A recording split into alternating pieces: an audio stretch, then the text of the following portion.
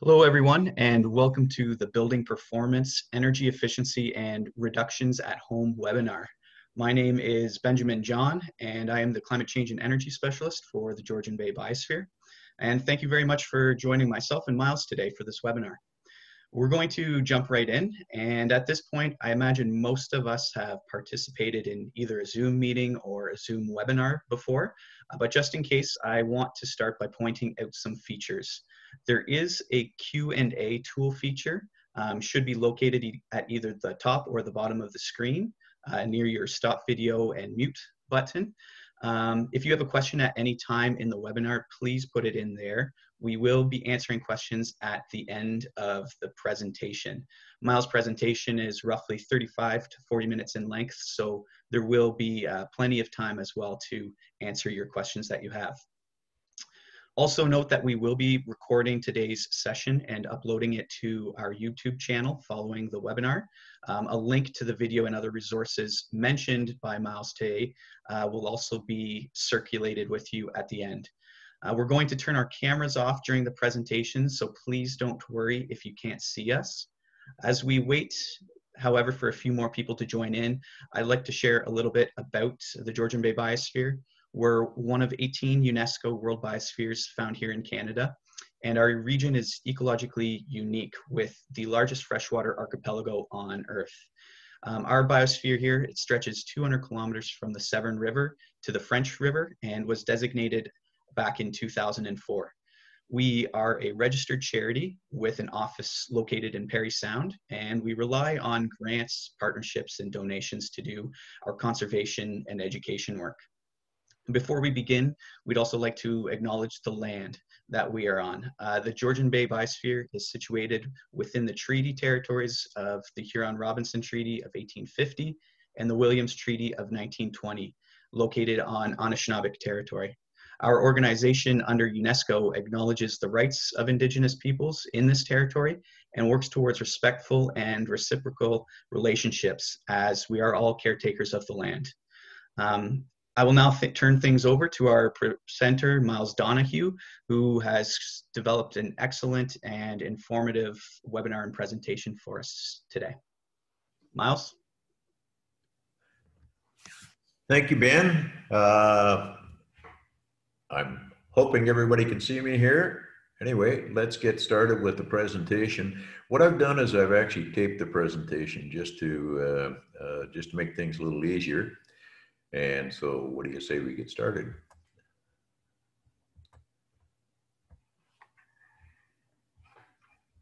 Well, thank you for joining us for uh,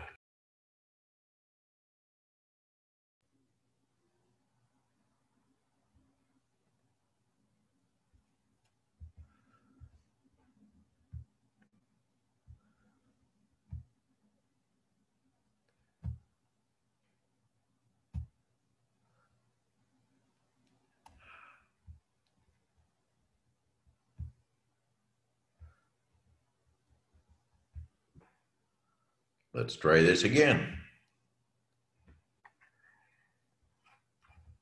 Well, thank you for joining us for uh, today's session on energy conservation at home. And what I'd like to do is we'd like to talk about uh, we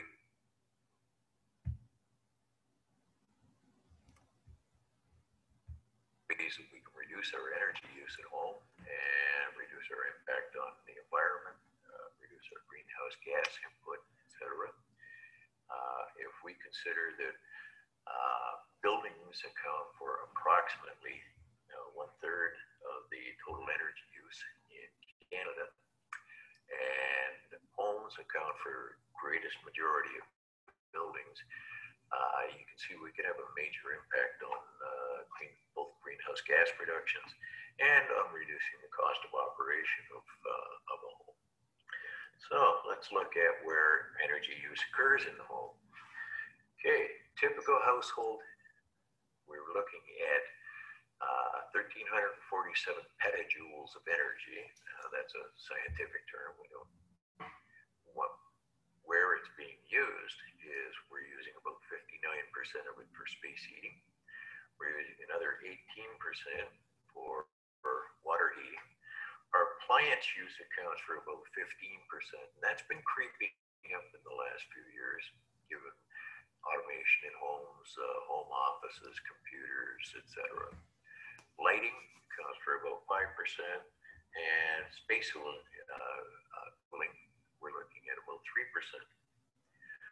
So we can make a substantial difference in uh, our energy use in the home just by doing some improvements. And if you'll notice where the two biggies are, uh, we're looking at space heating and water heating. Let's start out with the easy stuff first. Okay, so strategies. Well, number one, prioritize your upgrades. Okay, so develop a plan based on your goals, including the energy performance levels. Uh, if you're going to be expanding the home, you're going to be putting an addition on, then maybe that's the time to have a look at doing additional insulation on the exterior, etc.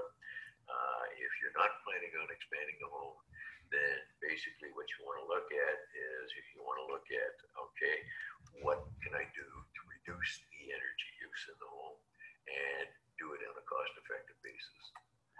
So, return on investment. Here's where cost effectiveness comes in. Where possible, give priorities to upgrade that provide the greatest savings per cost. So you look at things like attics, you look at things like basements, they're easy enough to insulate. And uh, uh, it might be that your furnace has reached the end of its lifetime. Okay, then possibly time to replace it. But you want the greatest savings per cost on. Okay, and then the third one, if you're looking at a multi-year plan, sequence your upgrades. If possible, perform the upgrades to reduce heat loss before upgrading the heating system. Reason for that is you could significantly reduce the heating requirements of the home and then find that if you've upgraded the furnace prior to doing insulating and air sealing, then what you've actually done is now your furnace is oversized. Okay, reduces its efficiency slightly, but uh, also the larger the furnace, the more expensive they are.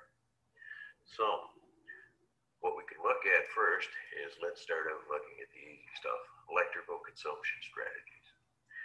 Okay, we're looking here at number one time of use, and this has got nothing to do with reducing your actual total energy use. What it's got to do with is what time of day you use it. And here in Ontario, uh, prior to the pandemic, we had three different costs for electricity. We had on peak, we had mid peak, and we had off peak. Okay, and as you'll see in a minute, uh, the time of use actually makes a substantial difference in what that hydro is costing you. Second strategy we can look at here is reducing loads. And we can look at that right across the board. Okay, so, with our time shift savings, well, on peak to off peak, 5.2 cents a kilowatt hour. On peak to mid peak, 1.7 cents a kilowatt hour. Mid peak to off peak, 3.5 cents a kilowatt hour. So, anything you can do in off peak, you've got the potential to save a minimum of 3.5 cents a kilowatt hour and quite possibly 5.2 cents a kilowatt hour which can make a major difference in your uh, uh, in your electrical bill. Okay, well, the major items we can look at are heating and cooling setbacks, dishwasher, laundry, shower. What time of day do you do those? Hobbies and home office well, if you can work in the evening, uh, 5.2 cents a difference in kilowatt hour during the time that you're working. Timer on the water heater. Okay, if you've got an electric water heater, try turning it on so that uh, setting a timer up on it so that it comes on at let's say 10 p.m. and goes off at about 8 a.m. That way your water heater is operating during off peak and it's saving you five cents a kilowatt hour. Most of the water heaters now have enough insulation that they would provide hot water for at least a 24 hour period uh, before the water cools off in them. So that gives you lots of water for uh, uh, running your dishwasher, laundry, showers, etc. Okay, we're going to heating setback or set forward. Basically, what we're looking at here is the easiest way to do it. You can go by adjusting the thermostats and turning it down at night before you go to bed, turning it up first thing in the morning, and walking around with cool feet until it warms up. Or they're programmable, you can set them for what time of day the temperature goes up, what time of day the temperature drops back. Um, the nice thing about doing that is that you can set it for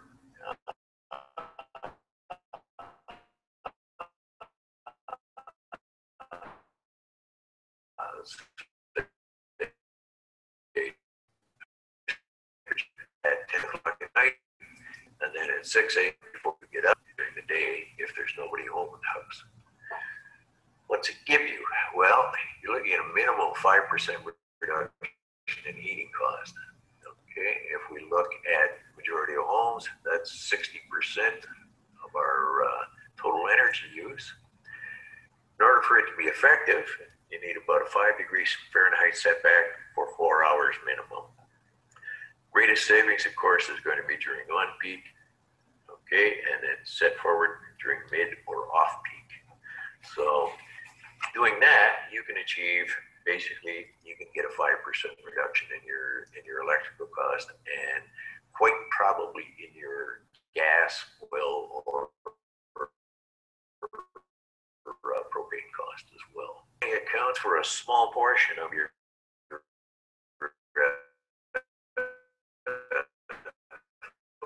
total use, but there's an uh, improvement in that. One is reduce the on time. Shut lights that you're not using, put them on time to be on, leave it off.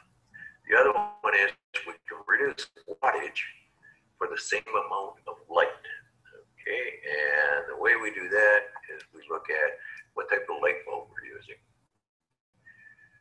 And this chart shows for six compact fluorescent in an LED. You notice the incandescent uses 100 watts to produce that 1600 lumens of light. Compact fluorescent 23 watts, and an LED 10 watts for the same amount of light. So makes it worthwhile to look at LEDs. If we're looking at them, okay, one of the things you may want to be aware of is when you get into compact fluorescents and LEDs, they have different light colors available. Incandescents are all around the 2700 to 3000, which is a soft white. Yet in the CFLs and the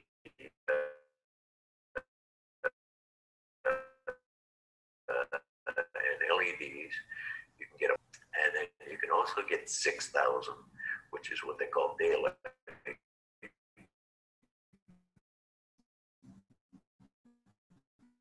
Typically, bright weights are the place where you're working, okay, rather than sitting around lounging, and then stick with the soft weights in the in the other areas, living rooms, bedrooms, etc. So, lighting, 90% off your total lighting cost. Okay, appliances, wow, 15%. How do we get by it? Eliminate them, use smaller appliances, or unplug them when they're not in use. And by eliminate, you know, if we look at uh, how many people have got stuff plugged in that they are not using, okay, whether it's uh, second fridge, a freezer, uh, etc. Uh, use smaller. Well, my wife and I have started using the toaster oven now to do a lot of our baking. Uses about one tenth the electricity of the big oven. Okay, and then unplug, and that's the unplug. We'll get to the phantom loads in uh, in just a minute, but it gives you uh, an idea that uh, if you unplug them, they are not drawing any electricity. When you're looking at replacing appliances, I would suggest you look at the EnerGuide information for the manufacturer and you compare the operating costs. Okay, so when you're looking at replacing a fridge, uh, every fridge has got an EnerGuide rating on it. Compare the costs and use that as a factor when you're looking at, at uh, uh, replacement. And then also we can test older appliances and we'll get to that in just a minute. Let's take an example here. We've got the beer fridge. Okay. Uh, usually sitting in the basement, very rarely used, uh, or it's got a half a dozen beer in it.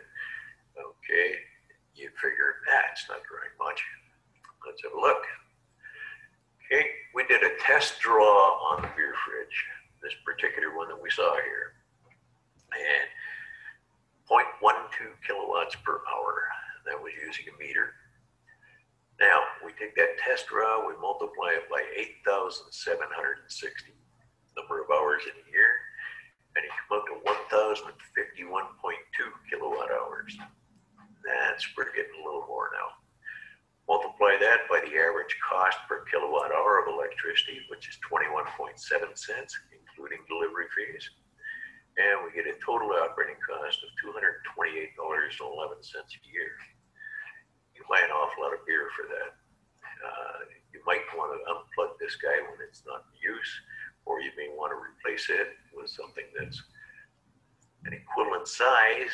And if you'll notice what the rating is on this one, we're down to 550 kilowatt hours per year. Okay, makes a big difference. Uh, the major ones that we've got are stoves, washers, dryers, and refrigerators and freezers. And those are the ones with the, uh, the EnerGuide rating uh, labels on One other area that we get, uh, and it's becoming more and more prevalent, is what we call a phantom load. And that's anything with a light or a clock. Okay, and it's used for instant on. And it accounts for about 5% of a typical hydro bill.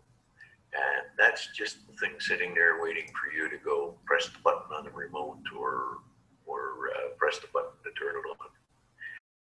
If you've got an Energy Star unit, such as TV or uh, uh, computer, okay, it allows a maximum of three watts per unit when they're shut off. Best way to deal with these guys, power bars with timers or off switches. Just to give you an example, uh, in my office, what I found was between the uh, photocopier and my printer and my computer, etc., I was drawing approximately 30 watts per hour with everything shut off. In other words, wasn't using any of it. And that 30 watts per hour, 24 hours a day, I was looking at about 600 bucks a year just to be able to go tick and turn it on again. Okay, uh, put them on a power bar with a timer on it, and I can shut them off for 16 hours a day, still have them available when I need them. And I can actually turn the timer on or off anytime that I feel like, so I can uh, I can work work in the office at any time. I just got to wait two minutes for my computer to boot up again. we talked earlier about metering We looked at that fridge. Uh, a lot of libraries have a kilowatt meter uh, available for loan. Basically, what you do with it is you plug that into the wall, you plug the appliance into it, you leave it plugged in for one hour, you take a kilowatt hour reading off of the uh, meter, and you multiply that by 8,760, and that will give you your energy use uh, out of that appliance you can then use that to compare to uh, uh, if you're looking at potentially purchasing a new one. Okay, and you can you can see what savings you should be able to achieve by purchasing a new one. You'll reference that to the uh, to the uh, rating on the label on the appliance. So we've pretty much covered the electrical. There's not a whole lot left in there to uh, uh, to be able to get at. So let's take a look at the heating, cooling, and comfort. Here's our biggie. Remember, we're talking about 59% of the total energy use in the home goes towards heating and cooling. Okay, so we're looking at about 60% of total household energy use, but because of the fuels that we used, we're looking at 80 to 90% of the carbon dioxide output, okay, is due to the heating.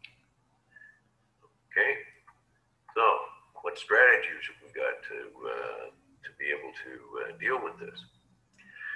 Well, first one is reduce heat loss.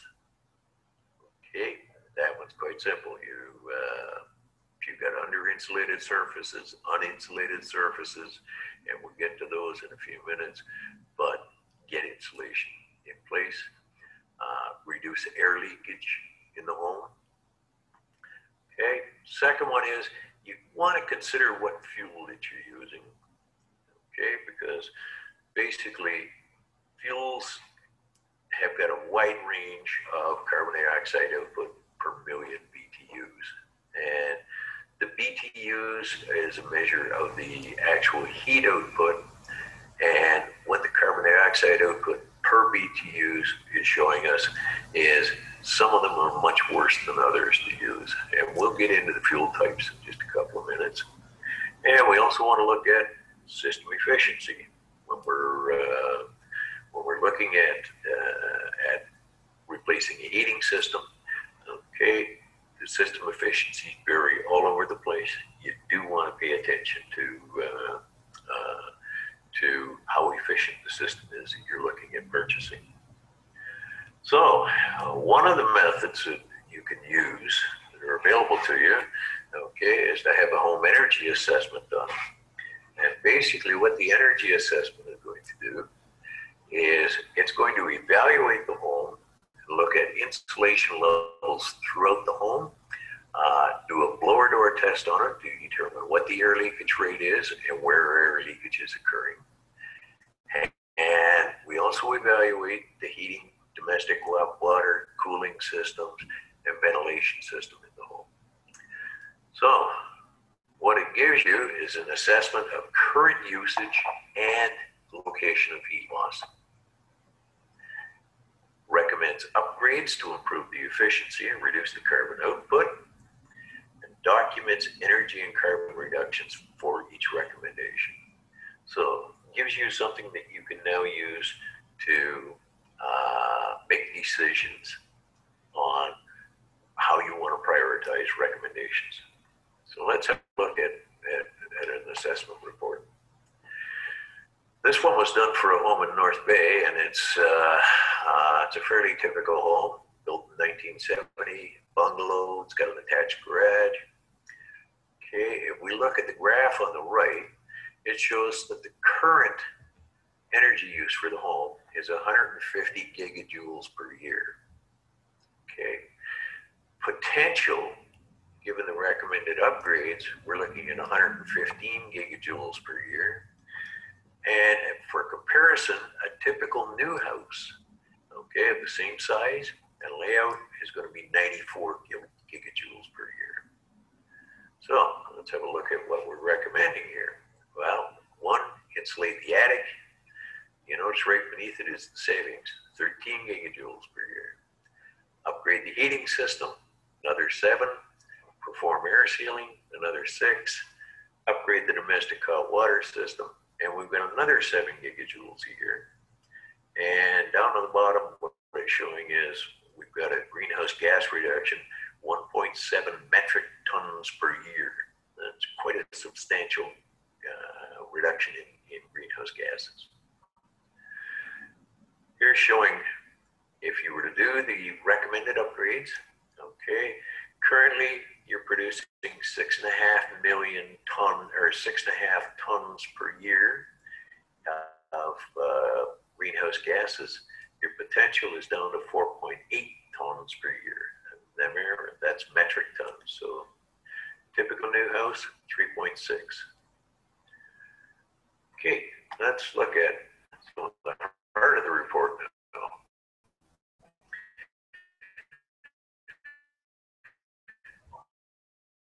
the amount of heat loss that occurs areas during the time of the assessment is if were you to do the recommended upgrade, what that heat loss would drop to. So if you notice on the attic, we went from 17 gigajoules down to six. Main walls stayed the same. We, we didn't recommend any upgrades for the main walls. Windows, we looked at replacing a few windows that were outdated and uh, damaged. Doors stayed the same. Basement there was one little spot in the basement was one insulated, uninsulated that we looked at at uh, adding insulation to. And air leakage and ventilation, well, we went from 35 to 28 gigajoules a year, substantial savings.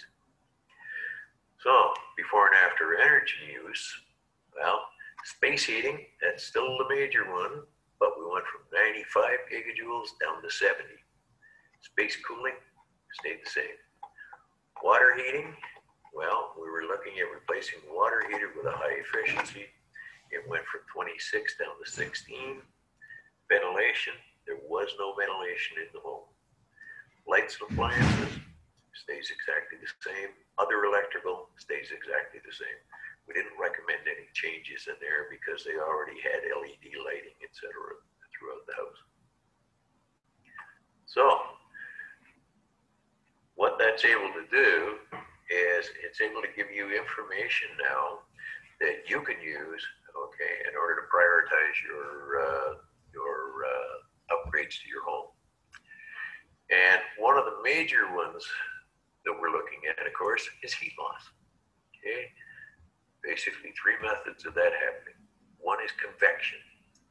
Fluid transfers heat from one surface to another. And if you think about it, that's uh, basically warm air rises, cold air drops.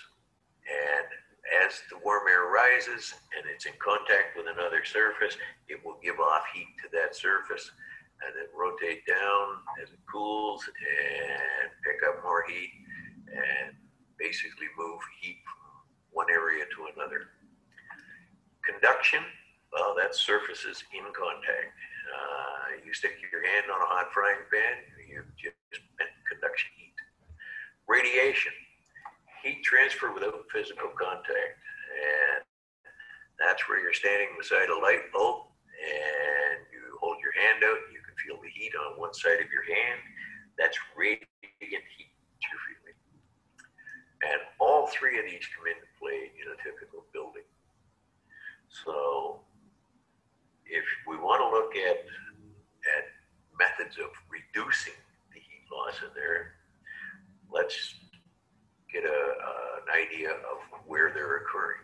Okay, so convective heat loss, well, air movement. And we've got three methods of doing it. One is wind effect, and that's you get a wind blowing on one face of a house. Uh, one side of the house has got a high pressure area on the outside. The other three sides, because of the air flowing around them, have a low pressure area. And so what you'll find is the windows, for example, on the side that's windy, you'll get drafts through them, and you're forcing warm air out through the uh, through the far side. Stack effect. Well, warm air rises, so any leaks at the top are going to cause warm air to leak out through the building envelope, and any leaks at the bottom are going to cause cooler outside air to come in. As that air warms, moves up to the top, exits the building again. The other one that quite often happens nowadays, especially with newer homes, is combustion of ventilation effect. Okay, you get things like your bathroom vent fan, the range hood, the dryer. If you've got interior fireplaces, if you've got anything that's uh, your furnaces drawing interior air, what you're doing is you're drawing air out of the house and it's going to be replaced by air leakage and that's going to be cold air coming in that you're going to have to heat up again in order to uh, maintain an interior temperature. So convective heat loss is one that's uh, somewhat simple to deal with. It's mainly dealing with air sealing. Reduce the air leakage rates and you reduce the convective heat loss. And remember, you're typically you're looking at about one third of your uh, your heat loss in a home could be considered convective. So where do we look? I would suggest we start out looking at any penetrations through the attic. And here we've got a chimney, we've got an attic hatch, we've got lights that are in the ceiling, uh, we've got the plumbing stack running up through the attic. Uh, these areas are typically poorly sealed. Okay, then I would suggest you start looking at around the foundation headers and then electrical boxes around doors and windows, etc. And there's all kinds of strategies that you can use to reduce the actual air leakage once you've detected it, determine where it is. And if you're not doing a blower door test, one of the ways is you turn your all of your exhaust fans on, including your dryer, and close all the windows and then take a couple of incense sticks and just walk around, check around your electrical receptacles, check around your windows, around window trim, especially around baseboards on the main floor and around headers, uh, particularly in the basement. When you see the air, the, the smoke being disturbed from the smoke pencil, you know that you're inside an area where, or you're at an area where there is some, some air leakage through it.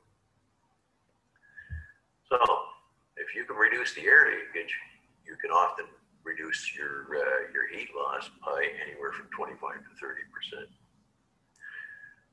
Okay, next one we look at is insulation. Well, what insulation is designed for is to reduce conductive heat loss. Okay, surfaces in contact. Uh, insulation works, it's rated at an R value per inch of thickness, and the R value is resistance to heat transfer. Okay, so the higher the R value, and the higher the R value of the insulation that you're buying, the more effective it's going to be at reducing heat loss. Okay, can also reduce air leakage uh, especially if you're using uh, board insulation and you're sealing all the joints between it, then you can do a substantial reduction in air leakage as well. And insulation is used in a cavity or it's applied to a surface. Let's have a look at some of the uh, some of the cases where. Okay, our priorities for insulating. Well, you want to start with uninsulated surfaces. If there's no insulation there, anything you put there is going to help. Then you want to look at under-insulated surfaces. In other words, surfaces that have got less than optimal insulation. So let's have a look at some scenarios here. Basement. Uh, if you notice this guy, concrete block wall, typical pre-1970 construction, no insulation in the walls. Uh, this is probably a major heat loss uh, for this particular home. Uninsulated altogether. Now, there's one method of doing it. Energy Shield or any of the styrofoam products, they get glued to the wall, the joints get taped, and what you find is, there you go, you've got a complete barrier all the way around. Uh, if you're looking at finishing the uh, interior surface, you can frame inside of that, and you could add blanket insulation or pad insulation inside if you uh, uh, if you wanted to. Another one for unfinished insulation or basements, okay, is blanket insulation. This stuff rolls out. It's got the poly coating on the one side to use for a vapor barrier. You roll it out, attach it to the wall, and tape the seams, and you're done. Spray foam. The good thing about spray foam is it's got a high R value per inch, so you don't need as much of a coating on. And secondly, it's also good at air sealing. And if you notice here, you can see this is the top of the basement wall, and you can see the uh, floor joists uh, coming out from the uh, from the sill plate you're able to seal right up into that floor joist cavity, which is a difficult one to seal when you're uh, uh, when you're uh, just trying to use uh, batts and, and poly and etc. So it's also able to seal air leakage around it. And if you got a basement that looks like this, don't insulate it yet. You've got to reduce the water if you were to insulate this, one of the issues you would have is creating mold. And secondly, you would find the humidity levels in the house would go up substantially, particularly if, in addition to doing insulation, you did uh, air sealing as well, because that water is going to evaporate, that basement's going to become warmer, water is going to evaporate into the house, and it could give you humidity issues right throughout the house. So, next one in line, attics. Well, usually these are insulated, but quite often under insulated. If you notice, this one's got six inches of insulation in it. Basically, it's an R20. Okay, that is very easy to convert to that. Uh, that's a well around the uh, attic hatch, and if you'll notice, we've got 24 inches of insulation in it now. Okay, and so what we've got is we've just taken that ceiling from R20 up to R80, and that's going to make a substantial difference in uh, in heat loss. If you go back to uh, uh, go back to where we, we looked at the assessment report, you can see the difference that made in uh, in that particular home. Okay, walls. Well, here we've got a good one. Uh, somebody once stuck uh, styrofoam insulation over top of the exterior of a wall structure. And if you notice here where we got uh, drilled a hole into the wall cavity, nothing in the cavity. And you've got a half inch of styrofoam, which gives you R2 over top of the wall structure. So if you're dealing with something like this, you need a contractor to do it. And what they do is they will come, and if you'll notice, they're drilling holes in each of the stud cavities and then they're going to blow in insulation and fill those stud cavities full of insulation. And you can see here what it should look like when they're finished with it. That's a dense packed cellulose insulation in there. One of the things I would suggest if you're uh, getting a contractor in to blow insulation into your wall structures is that you let them know that you're anticipating having somebody come back and do a thermal scan of the exterior of the building when they're finished. That way, they're more apt to ensure that they fill all the cavities properly and uh, they don't leave any gaps in there anywhere because you'll never find them from the inside. Okay, the other option for walls is doing a board insulation, typically over the exterior. Uh, it just the nice thing about it is it covers the studs as well as the uh, as well as the cavities, and if you'll notice here, the joints have all been taped, sealed. It's going to do a major job in reducing air leakage. And so you're going to end up with a lot less air leakage as well as improving the ER value of the, uh, uh, of the uh, wall structure. Windows, well, Windows, they haven't made real major improvements in Windows in quite a while. Uh, if you've got a dual pane window, the least your R value is, is going to be R2. Okay, and that's with uh, standard dual pane with a metal spacer in it. Uh, if you look at some of the best windows that we make, it's an R3.8. So not huge improvements in, windows. Your best bet there is number one, air seal the openings around them if you've got uh, uh, check around the uh, around the trimmer on the window, if there's air leakage there, caulking, etc. Okay, and then second, replace them with Energy Star windows when you go to replace the windows. Okay, so let's get looking now at we've, looked at our heat loss. Let's now look at what we do as far as a heating system the first thing we want to examine is let's look at the cost of heating fuels as far as the carbon dioxide output. And what this chart shows you is how many pounds of carbon dioxide is produced per million BTUs by the following fuels. And this is relevant in Ontario. Okay, wood, zero. Yes, it produces lots of carbon dioxide, but it's considered carbon neutral simply because the wood is going to, if left in nature, is going to rot and actually oxidize, and so that, that carbon would end up back in the atmosphere. Okay, it's the fossil fuels that we're looking at. Okay, oil, 161.3 pounds per million BTUs. Propane, little better than that, 139 pounds. Natural gas, 117. And electricity, 4.94.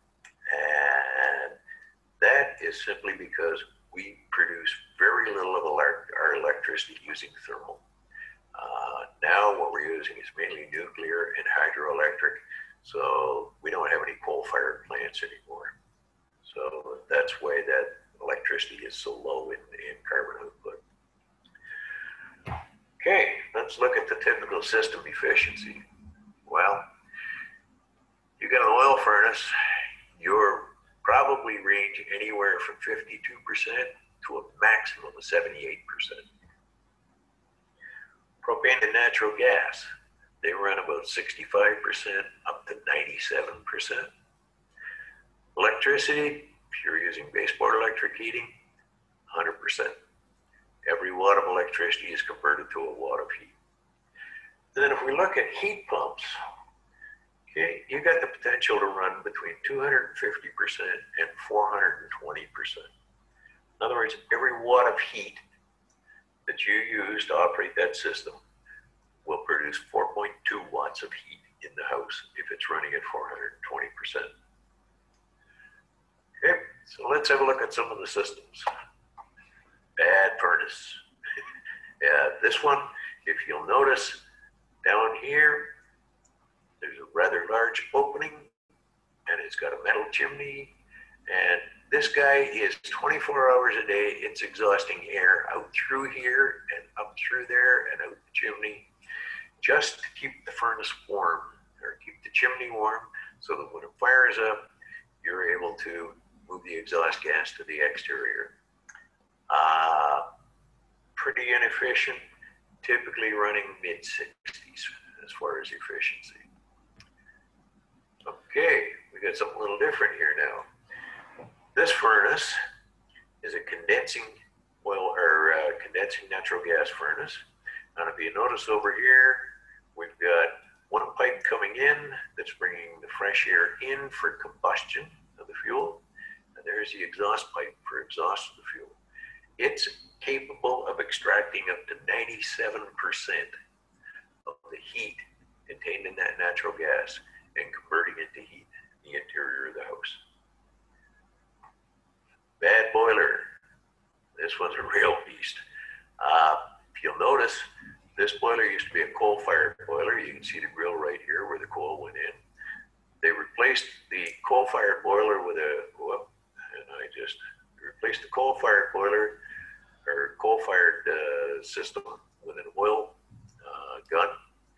And it is operating at mid 50s as far as efficiency. And if you'll notice all of this white material over on the sides of the uh, of the boiler, that's quite probably asbestos, so it's something you may want to get rid of anyway. Here we go, about 82% efficient natural gas. Um, and they run up to whatever size you're going to need. And basically they're exhausting out through the chimney once again. And then we look at the best boiler, okay? Condensing instantaneous boiler. What it will do is it will operate up to about 95% efficiency and actually extracts much more heat out of your fuel than any other of the, uh, of the boiler systems. So if you've got baseboard electric heating, then one of the things you may want to consider, rather than replacing the entire heating system, is looking at a heat pump. Okay, this is an air source heat pump. Sits outside, looks an awful lot like an air conditioner unit because they work very similar to an air conditioner unit. The inside coil can either be in your furnace if you have a furnace, and what it will do is this system will operate down to about minus 20 and it provides heat to the interior of the house and typically given the, depending on the outside temperature, anywhere from 250 to about 300 percent. If you don't have a furnace and you get baseboard electric heat, we take a look here. This is a head that can be put inside the house, and typically you want to you want to put them in open areas. And what this will do is actually circulate heat inside that area of the house. And remember, heat pump can also be used for cooling, so it act as an air conditioner as well during the summertime. Ground source heat pump. Basically, what we've got is you, you see these two pipes down here. That's cold water coming in from outside, and in this case, there's 1,500 feet of pipe buried in the ground. And what that's allowing us to do is we bring water in at about five degrees Celsius. We strip some of the heat off a bit, and that heat then gets cranked up by the compressor and it's distributed to the interior of the house.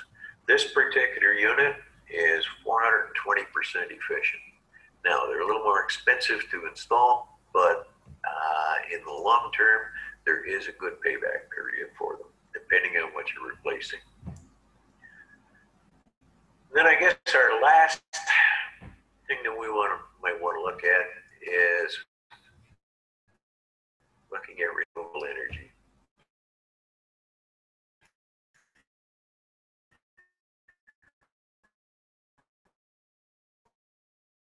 Uh, nowadays, the province does not have a program to, if you're grid tied, you to put a system up that will produce some of your demand. And when you're producing more than what you're using, it goes out onto the grid and it runs your hydro meter backwards. Okay, so you can produce some of your usage and you don't have to store it in batteries. You can just apply it directly back grid using the big the grid for a big battery storage.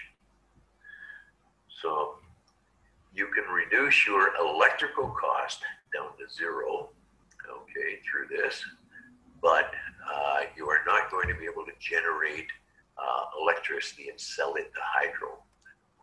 Uh, hopefully, we'll be getting back to a program like that shortly where we get distributed generation and people are able to uh, people are able to actually put power back to the grid. Okay, and and reduce our uh, uh, our dependence on nuclear and and uh, and our transmission lines. So I think we've pretty much covered it now. Uh, what we're going to do is I'm going to stop the the slide presentation. And I think now what we can do is we can spend some time answering questions.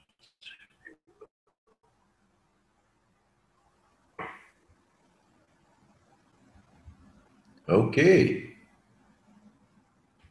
Thanks, Myles. That was um, incredibly informative presentation. I know I have a lot of strategies and things to look into at my own home right now. Um, and yeah, I'm also quite excited to look for opportunities to reduce our operating costs and our GHG emissions as well. Um, we do have a few questions. Um, I did notice that uh, one participant raised their hand. Um, is that for a question? And if so, if, if you'd like to uh, share your question.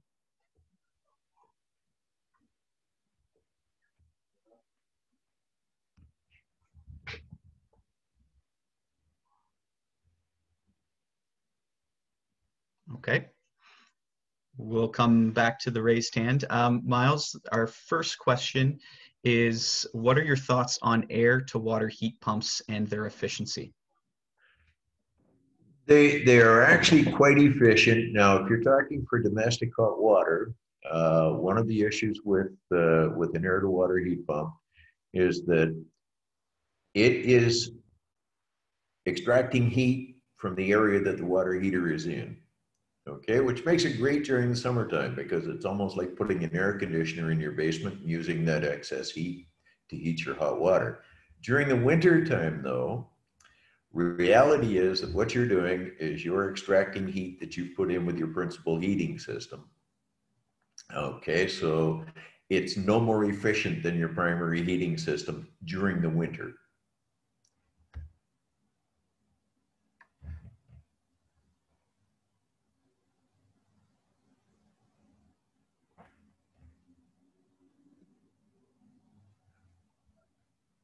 Okay, thanks, Myles.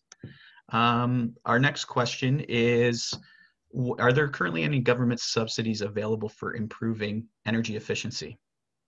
The only subsidy available at this point in time are, there are two of them. One is through Enbridge Union Gas. And uh, if you uh, are heating with, uh, with natural gas, then they have a program available. And I, in the resource list that, uh, uh, that will be available at the end of the program, uh, there's a, a link there to the Enbridge program Okay, and they will assist in doing insulation, in doing air sealing, in replacing heating systems, in replacing domestic hot water systems, etc. The other one is uh, it's uh, actually uh, uh income based, but it's through uh, uh, through the IESO. And once again, I put a link in the resources there to the IESO program, and that is for electrically heated homes. Okay, and they will actually uh, come in and do the insulating for you. Okay, so those are the only two at this point. Now, I noticed uh, yesterday uh, when I was listening to Trudeau's little spiel that one of the things he's talking about was uh, uh, talking about reducing uh, energy use and he was sort of hinting that there may be some federal incentives coming on uh, on that. But at this point, no, there there are really no government incentives uh, to uh, uh to reduce the uh, energy use in a home. Thanks, Myles. Um, are the new dry? Our next question is: Are the new dryer heat pump units worth the extra cost? I would suggest yes, they are. Uh, and the interesting thing with them is reality is what they're doing is uh, they're using one half the unit as a as a heater okay? And they're using the other half of the unit as a condenser almost like a dehumidifier. So in reality you're not exhausting air out of the home Okay, and really the only uh, the only thing that leaves the home is the moisture out of the clothes. Whereas right now, basically a clothes dryer, what it's doing is it takes air out of the interior of the house, it heats it up, uses it to evaporate air out of the clothes, and then puts that outside. Okay, so yes, they can make a they can make a substantial difference in. Uh, particularly if, if you do a lot of laundry. Our next question is, can you solar heat a poured garage floor? Uh, an existing floor is a little rough to do. If you were, what I would suggest is this is something you'd have to look at during the construction phase because one of the things that you want to do is get yourself a good insulation layer underneath the slab. Okay. And then you can use some solar water panels on the roof of the structure. Okay. And a small pump along with a thermostat to circulate that water through radiant heat piping in the garage floor and you're going to want to have some decent insulation in the garage, etc. But also, if the floor is not insulated underneath, you're going to have quite a large amount of heat loss down through the slab into the ground, and I would suggest it's not going to uh, not going to work for you. Whereas if you're designing the garage and you're looking at, uh, you know, you don't want to keep it at 70 degrees, but you want to get some heat into the garage, then yeah, I would think solar panels on the roof, okay. Uh, insulate the slab and put radiant piping in the slab to, uh, to distribute the heat. Thanks, Myles. Uh, our next question is based on Ontario's current energy production mix, it seems problematic to recommend natural gas or propane as a system to move to unless you are just trying to make a current unit more efficient. There may be a couple questions in, in there, um, but if you can maybe speak to that a little bit. Sure. Um, you're absolutely right. Electrical usage, if we're looking at it strictly from the uh, point of view of carbon dioxide emissions, electrical usage by far is the cleanest fuel that you can that you can use. If everybody were to right now switch to electric heat, our grid would collapse. We do not have the distribution system to be able to handle everybody heating electrically. So what we're having to look at is we're having to look at the compromise. Um, there's no incentive right now for doing solar electric. Okay. So we can't get into realistically into distributed generation. Um, and my suggestion would be is what we're looking at there is we're looking at doing the least harm we can. So if you're in an area where there's natural gas available and you've got an oil furnace, you can make a substantial difference, okay, just simply by switching from oil to natural gas. The other thing is it'll make a big difference in the operating cost. And it's also, you're not storing 200 gallons of toxic material on your property. Okay, which if you get a leak in an oil tank, boy, it's expensive to clean out. And your insurance company, if you're on oil, is probably charging you an additional premium of four to five hundred dollars a year for having that oil tank on your property. So that can be uh, uh, reduced as well. And I think what we're looking at here is we're trying to do the least harm that's feasible to do. Okay, so you know, yes, electricity is is is an option, but it's an option that not everybody can use. Okay, so then what you look at is well, what is the next best fuel. And if you're in a location where it's served by natural gas, there you go. Uh, if not, then I would definitely suggest propane versus uh, oil, and for two reasons. Number one, you're reducing the carbon output.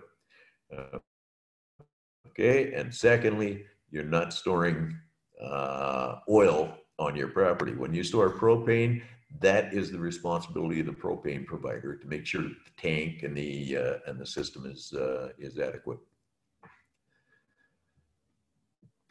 Great, thanks, Myles. Um, our next question: Have you ever come across brick failure when an old house is wrapped in insulation?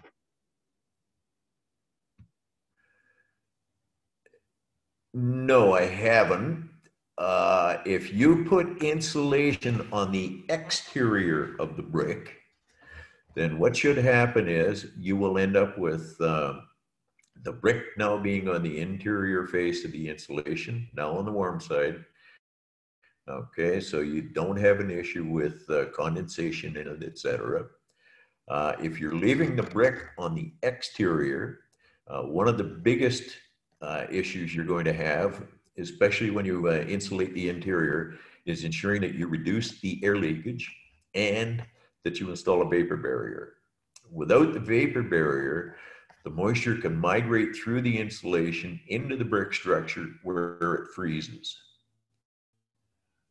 Okay, that'll create spalling in the uh, in the brick, and yes, you can damage the brick uh, uh, face.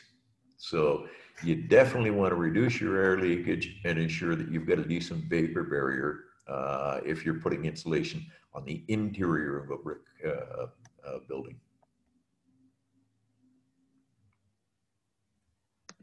Great.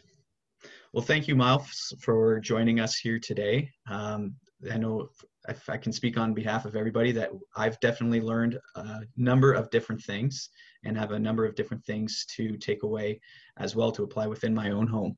Um, as I mentioned at the beginning of the webinar, there will be a list of resources made available uh, following the webinar. And as well as if you've missed any of the information that was provided during this webinar, um, this webinar has been recorded and it will be made available on GBBR's YouTube channel. So thank you everybody for joining us here today and have a great day. Bye bye now.